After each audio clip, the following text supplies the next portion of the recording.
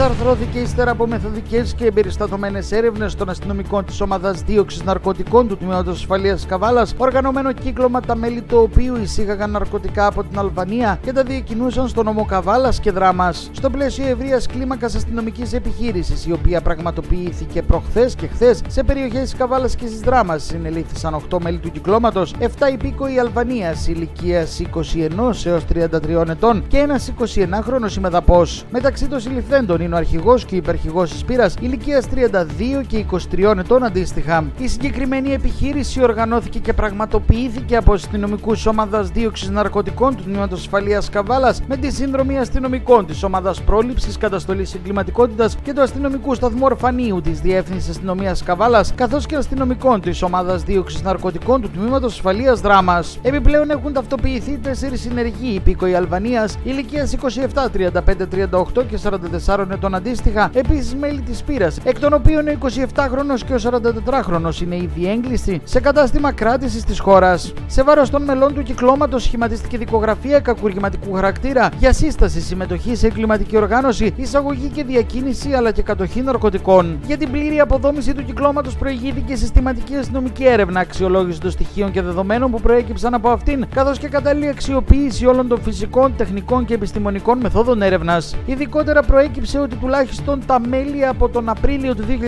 2017 και πιο συγκεκριμένο 32χρονο συγκρότησε εγκληματική ομάδα, στην οποία ένταξε ως υπαρχηγό τον 23χρονο αδερφό του και τους υπολείπους δράστες ως μέλη. Το κύκλωμα διαθέτει ιεραρχική δομή και εσωτερική διάρθρωση, με τα μέλη του να έχουν διακριτούς ρόλους και να λειτουργούν υπό την καθοδήγηση και τις εντολές του 32χρονου αρχηγού. Συγκεκριμένα, ο 32χρονο ερχόταν σε επαφή με τους αρχηγούς κυκλώματος στην Αλβανία και οργάνωνε την προμήθεια της πύρας με ναρκωτικά προερχόμενα από την Αλβανία. Στη συνέχεια, κάποιοι από τους δράστες οι οποίοι δραστηριοποιούνταν από το κύκλωμα στην Αλβανία εισήγαγαν τις ποσότητες ναρκωτικών στη χώρα μας και τις παρέδιδαν στον 23χρονο υπαρχηγό. Ακολούθως αυτός αναλαμβάνει την απόκρυψή τους σε διάφορα σημεία καβάτζες πλησίων του ορφανίου Καβάλας, καθώς και την περαιτέρω διάθεσή τους στα υπόλοιπα μέλη της πύρας, τα οποία με τη σειρά τους διακινούσαν τα ναρκωτικά σε χρήστες των νομών Καβάλας και Δράμας. Στο πλαίσιο της αστυνομικής επιχείρησης εντοπίστηκαν σε δασική περιοχή του ορφανίου Καβάλας, καθώς επίσης και σε σπίτια και στην κατοχή των δραστών 246,6 γραμμάρια κατέργαση κάναβη, μια ηλεκτρονική ζυγαριά ακριβίας στο χρηματικό ποσό των 1550 ευρώ και 10 κινητά τηλέφωνα. Επισημαίνεται ότι κατά τη διάρκεια των αστυνομικών ερευνών για την αποδόμηση της συγκεκριμένης εγκληματικής πύρα είχε συλληφθεί την 18η Ιουνίου του